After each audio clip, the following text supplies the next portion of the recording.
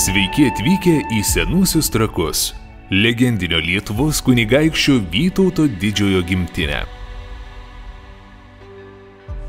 Senųjų trakų pilis, pastatyta XIV amžiaus pradžioje, buvo viena seniausių Lietuvos mūrinių pilių.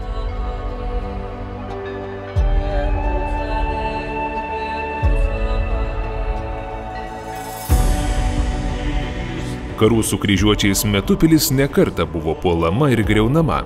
1391 metais sugriauta pilis niekada nebuvo atstatyta.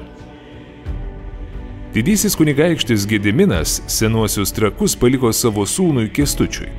Legenda sako, kad Kestutis čia parsivežė savo gražiąją žmoną Birutę. Apie 1350 metus senuosiuose trakuose jiems gimė sunus Vytautas. Vienas didingiausių Lietuvos valdovų, Vytautas didysis buvo išskirtinė asmenybė. Pilnas energijos, pasitikėjimo savimi, greitai priimantis sprendimus, giliai išsilavinęs.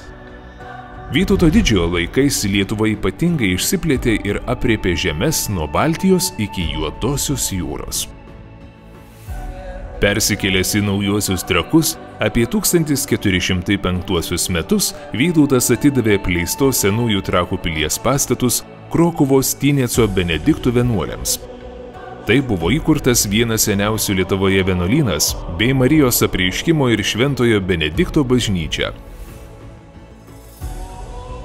Šiandien senojoje piliavitėje šlama galingos, antrą šimtmetį skaičiuojančios vienuolyno sodo liepos ir vienuolyno bei neogotikinės bažnyčios ansamblis.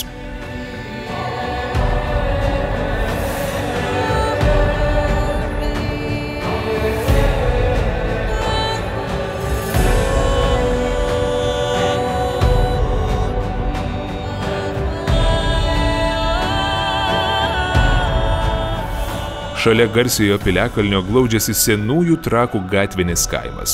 Jaukus ir žavingas architektūrinis paminklas.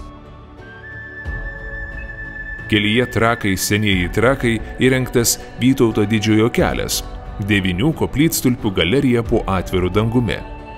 Apsidairykite. Įsivaizduokite, kaip atrodė apsauginis griovys tais laikais, kai jis visas buvo pilnas vandens kaip nuožmiai čia stovėjusią pilį nuo kryžiuočių gynė didžiojo kunigaikščio Gedimino kariai. Pajuskite didingą Lietuvos istorijos dvasę.